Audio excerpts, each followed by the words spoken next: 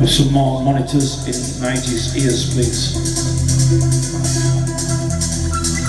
Failures plagued me, haunting future dreams, things I had omitted, ignored or neglected.